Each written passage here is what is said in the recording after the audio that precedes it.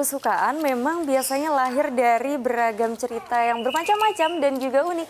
Termasuk salah satunya adalah hobi membuat diecast atau mungkin lebih familiar disebut sebagai miniatur.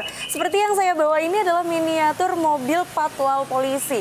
Hmm, menarik ya, seperti apa kemudian prosesnya dari hobi bisa menjadikan sesuatu yang unik dan menarik. Sekarang saya akan mengajak Anda untuk berbincang dengan salah satu warga kota Semarang yang dari hobinya kemudian bisa menghasilkan sesuatu yang unik.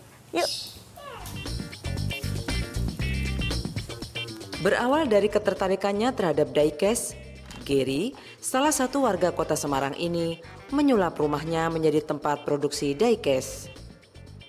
Di tangannya, Gary membuat diecast atau miniatur mobil yang hanya ada di Indonesia, seperti mobil patwal polisi, mobil militer, hingga food truck.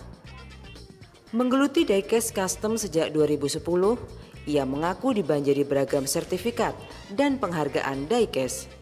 Uh, dulu sih saya sebelum suka, ya awalnya suka, cuman kurang begitu fokus ke diecast karena kan si uh, kesibukan pekerjaan yang lain.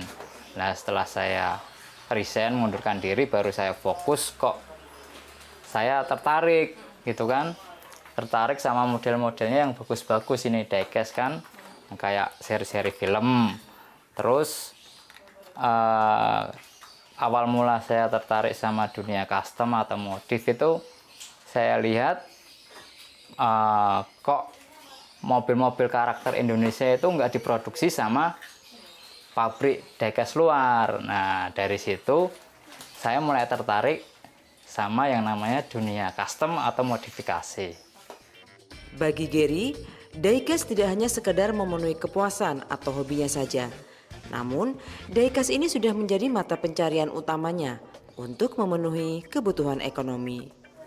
Dan begitulah ternyata ketika hobi dan kesukaan bisa kemudian diimbangi dengan suatu kerja keras, pastinya tidak hanya akan menghasilkan sesuatu hal yang positif untuk dirinya sendiri ya, tetapi juga untuk kalangan pecinta diecast dan juga untuk masyarakat umum. Seperti itulah dan bagaimana kita bisa mengambil makna positif dari adanya hobi dan kesukaan. Dari Semarang, Monika Ayu, Triwibowo, Metro TV.